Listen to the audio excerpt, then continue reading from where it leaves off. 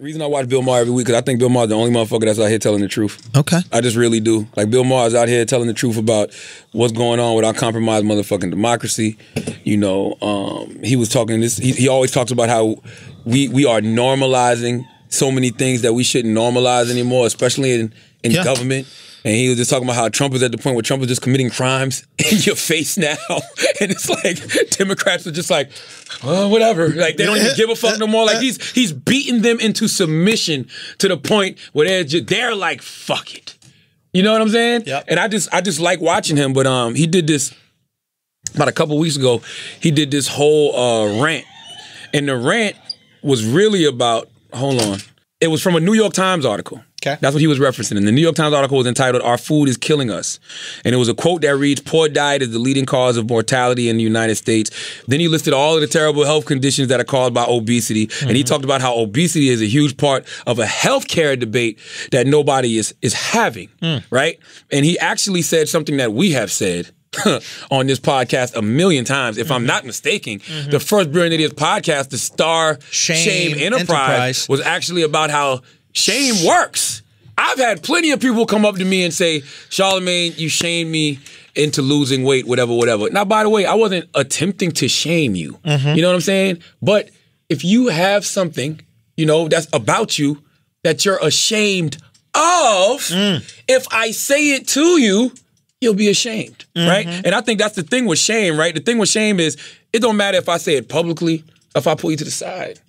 If you're ashamed about something and I say it to you, That's inside you. it's inside you. You can't be offended by something that you don't feel insecure about. You can't shame me if I don't got no fucking shame. That's it. I don't give a shit. Been talking with a list for 30 years. you can say whatever list joke you got. I don't give a fuck. yeah, yeah. Yeah. You know what I'm saying? Like you, you, you can say whatever about me. I don't. I, I, it don't bother me Yeah. if, if it don't bother me. Exactly. Right. Yeah, yeah. And the thing about being fat or obese, whatever, that's something you can actually change. Yeah. And people like to say, "Oh, what about people who are sick and they have disease?" We're not talking about them. Yo. We're talking about you eating fucking dumplings all day. Majority of Yeah. the people in America who are fat are fat because of overeating That's and it. lack of exercise. That is a fact. You can argue with me till the cows come home. There's nowhere you're going to read that doesn't tell you otherwise. I've So- never met a fat person that works out more than me. You know what I'm saying? so, Never once. I've never met one. So the problem with Bill Maher is he's a political pundit who Yeah. actually also happens to be a comedian. Yeah. So when you're giving people this medicine, you throw a little candy in it. Yes. And even though it's truth and jokes, Yes. when he says fat shaming works, I don't think I think he's looking at it the same. And I can I can't speak for him. I'm just saying that's the way we also look at it. Right. Because that is what it's called, right? If I tell somebody, yo, you fat, lose some weight, they'll say, stop shaming him. I'm not though. I'm just telling that person, yo, Mm-hmm. lose some weight. You want to be here, right? You don't want to have a heart attack, hot whatever. Yeah. So I'm not doing it on purpose. So I think when Bill Maher was saying that, that's what he was saying. He's not saying go around and just be teasing fat people for the sake of teasing fat people. He's just telling them, yo, if they big, let them know. Yeah. If they're obese, let them know. Like you encourage them to get into shape. Yeah, yeah. James Corden, Nobody ever lost weight because of compliments. yes. And James Corden said, I have, nothing but respect for Maher. I think he's terrific. I watched his show last night. Uh, but he said, what he said, what did James Corden actually? He said fat shaming. Oh, Bill Maher said fat shaming doesn't need to end, it needs to make a comeback. And James Corden basically said, fat shaming is wrong. And he all I'm saying is he made it all about fat shaming.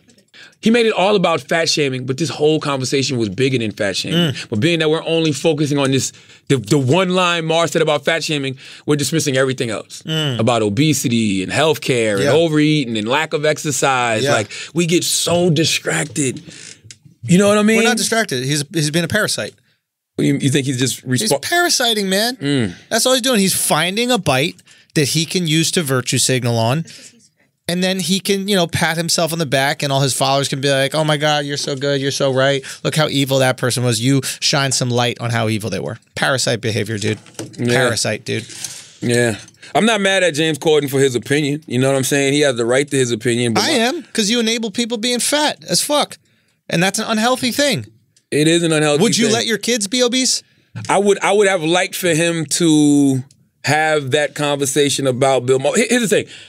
I have no problem with you pushing back on the fat shaming thing if you equally big up all the, the things that you agree with that he said. Yes. Because you did James did say he's right. Obesity is a real thing and lack of exercise and people are dying of obesity. But big that up just as much Yeah. as you make a point about the fat shaming. thing. Yeah. You can tell Bill Maher, yo, you could do all of that without encouraging fat shaming. Whatever. Yeah. But just big up the good and what Bill Maher said. Yeah. As much as you big up what you de- deem as negative. Yeah, you know it's tricky with the show like that with Bill Maher because he's a comedian, but he is serious.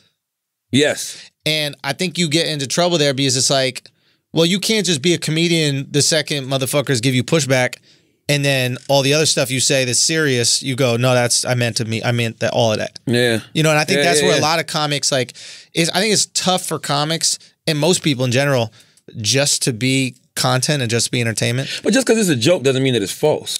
Abso- absolutely, but joke just is just joke just means intention. Yes, but if he only did jokes, he could joke about that all he want, and, Yeah, and then it's yeah, totally yeah, fine. but the fact that the beginning was serious and he was giving these serious points, it's almost like he's using the comedy as like a way to get out of jail free. That's why I like Bill Maher. and that's cool. That's why I love. I think Bill Maher's the best host on television. Who's not Stephen Colbert? Yeah, You know what I'm saying? But Yeah, Stephen yeah. does something totally different. Right. There's nobody I like to. The only other person I used to like to hear that did what Maher did was Jon Stewart.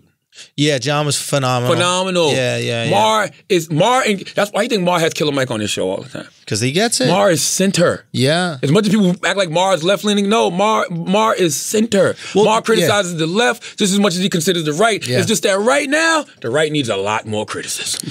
right. And but he's also heavy on the left. Like he's heavy on the criticism the left needs right now too. He hates to listen. Yeah. He he thinks the left is responsible for the pussification of society. yeah, All this cancel culture shit, y'all. He he calls the left a a a, a, a, a shooting uh, a circle of shooters. What do they call it? Shit? yeah. Mexican shooter. Huh? You fucking racist? Yeah, yeah, yeah, Nobody, calls But it Mexican basically, shooting. if everybody's shooting each other in a circle, everyone's dead.